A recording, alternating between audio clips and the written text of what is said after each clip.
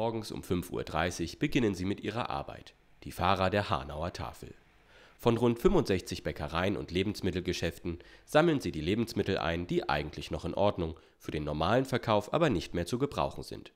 Und da kommt einiges zusammen. Also nur die, die wir von den Lebensmittelgeschäften an leicht verderblicher Ware bekommen haben, waren 574 Tonnen. Und das ist doch enorm. Wir versorgen derzeit damit über 2000 Menschen in und um Hanau. Bundesweit unterstützen die Tafeln regelmäßig rund 1,5 Millionen Menschen und die Nachfrage steigt stetig. Also wir merken einen ständigen Anstieg ähm, weil wir gerade bei dem Thema es auch sind, also jetzt zunehmend natürlich auch äh, Flüchtlingsfamilien oder Zuwanderer aus EU-Staaten. Das war vor einem halben, dreiviertel Jahr noch großes Thema hier in der Tafel. Menschen aus Rumänien und Bulgarien, die hier nach den Tafelausweisen nachgefragt haben. Also generell steigt die Zahl, aber es sind auch sehr viele ältere Menschen, ähm, die nachfragen. Ähm, nach den Leistungen der Tafel und Alleinerziehende und was wir merken, junge Menschen. Also junge Erwachsene, die aus irgendeinem Grund keine Anstellung gefunden haben, vielleicht auch keinen Schulabschluss haben, äh, die auch die Leistungen der Tafel nachfragen. Aber wer ist eigentlich berechtigt, die Hilfe der Tafel in Anspruch zu nehmen? Also herkommen dürfen grundsätzlich alle. Alle, die bedürftig sind und die Nahrungsmittel brauchen und die die Bedürftigkeit nachgewiesen haben. Denn wir sehen es ja jemanden zum Glück nicht an, ist er bedürftig oder nicht. Und wir sind auch nach Abgabenordnung gehalten, nur an Bedürftige Lebensmittel abzugeben, sonst würden wir unsere Gemeinnützigkeit verlieren. Deswegen verlangen wir von den Bedürftigen, die hierher kommen, einen Bescheid, der uns auch nachweist, wir sind bedürftig. Die Kosten der Hanauer Tafel von rund 250.000 Euro im Jahr werden durch Zuschüsse der Stadt und des Kreises, im Wesentlichen aber über Spenden gedeckt. Für das Abholen, Sortieren und Austeilen der Lebensmittel werden viele Hände gebraucht.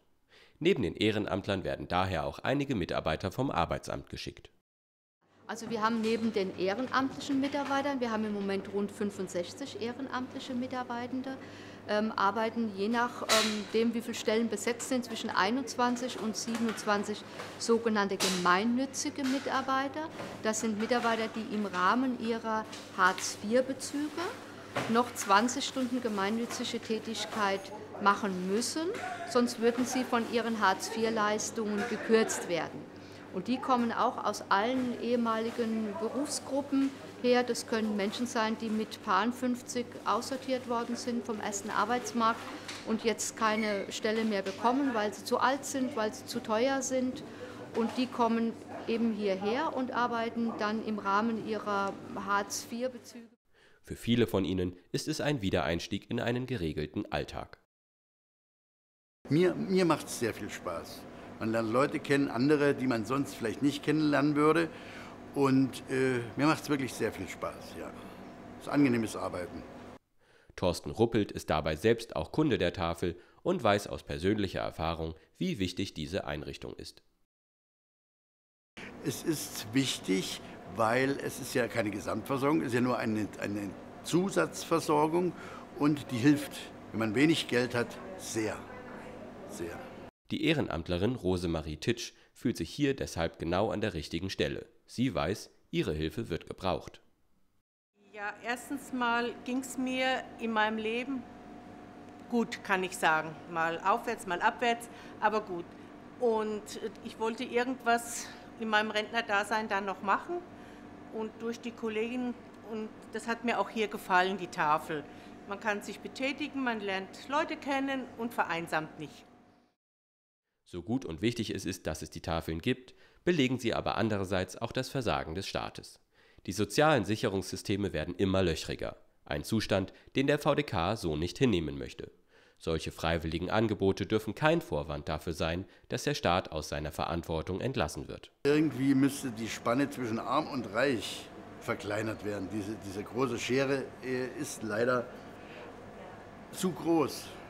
Und ob das die Politik irgendwann schafft, das weiß ich nicht, aber das wäre das, was gemacht werden müsste. Es ist und bleibt erniedrigend, für sein täglich Brot an der Tafel anstehen zu müssen. Es muss für jeden armen Menschen in Deutschland wieder möglich sein, mit Hilfe staatlicher Unterstützung genug für ein menschenwürdiges Leben zu bekommen. Und meines Erachtens ist es eine Schande, wenn ein alleinerziehendes Elternteil ähm, schlichtweg das Geld nicht hat, um sich die Lebensmittel kaufen zu können. Für mich ist es eine Schande, wenn ältere Menschen, die unser Land mit aufgebaut haben, die schlimme Jahre miterlebt haben, die mit bescheidenen Mitteln groß geworden sind, ähm, jetzt plötzlich mit ihrer Rente dastehen und kann sagen, ich kann mir eigentlich meine Miete nicht erlauben, ich kann mir nichts gönnen. Südfrüchte, nee, ist für mich vielleicht einmal im Monat drin, weil es zu teuer ist. Das dürfte nicht sein. Und da müsste man gegensteuern und da müsste die Politik etwas tun, damit es den, den Schwestern unserer Gesellschaft, nämlich den Alten, den Kranken und den jungen Familien, den Kindern, dass es denen gut geht. Und da müsste man mehr hinschauen und dann, glaube ich, würde sich auch da etwas zum Besseren wenden zum Thema Armut.